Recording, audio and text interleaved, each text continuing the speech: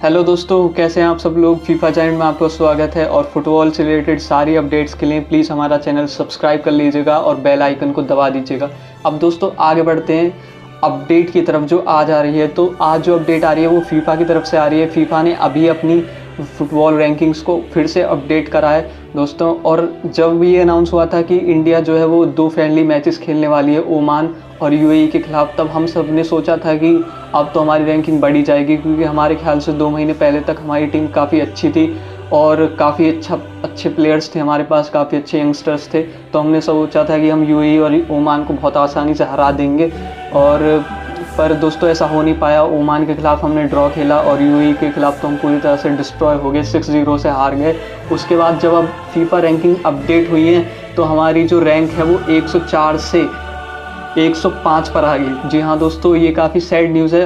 बहुत सारे लोग बहुत सारे यूट्यूबर्स आपको बोलेंगे कि रैंकिंग का ज़्यादा कुछ असर नहीं पड़ता। तो दोस्तों मैं आपको बताना चाहता हूँ कि रैंकिंग का भी बहुत बड़ा असर पड़ता है फुटबॉल में। क्योंकि जब आपकी रैंकिंग अच्छी होती है तो आपको बहुत ही अच्छी टीमों के खिलाफ मैचेस खेलने को मिलते हैं फ्रेंडली मैचेस अगर आपकी रैंकिंग 200, 150, 100 वे नंबर पे होंगी तो ऑब्वियसली आप केवल अपनी रैंकिंग से हद से हद 20 या 15 या 30 रैंकिंग ज़्यादा वाली टीम के साथ मैच खेल सकते हैं, लेकिन आप कभी भी सौवीं रैंक की टीम होकर 20 की रैंकिंग वाली टीम के साथ मैच नहीं खेल सकते, क्योंकि आपकी रैंकिंग काफ़ी पीछे है और कोई भी अच्छी टीम आपके साथ खेलना नहीं चाहेगी। तो दोस्तों, अब आगे बढ़ते हैं नेक्स्ट अपडेट की तरफ़। तो नेक्स्ट जो अपडेट आ रही है वो रॉलिंग बॉर्जिस की तरफ़ से आ रही है। रॉलिंग बॉर्जिस जो कि इंडियन नेशनल फुटबॉल में एज अ मिडफील्डर खेलते हैं और मुंबई सिटी एफसी के भी मिडफील्डर ही हैं वो।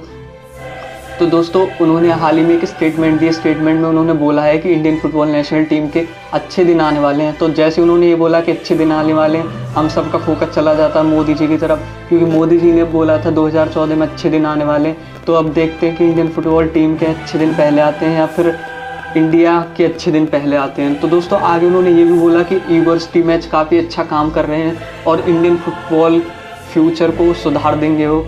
तो आपका इस बारे में क्या बोलना है? यूनिवर्सिटी में सुधार पाएँगे या नहीं सुधार पाएँगे? दोस्तों, मेरा तो जो ओपिनियन था, आप सब जानते हैं, मैंने पहले की वीडियोस में यूनिवर्सिटी मैच को लेकर अपना पूरा ओपिनियन दिया था आप सबको। और दोस्तों, आज के लिए इतना ही। अब कल मिलते हैं। Thank you so much channel को प्लीज़ सब्सक्राइब कर लीजिएगा। Thank you thank you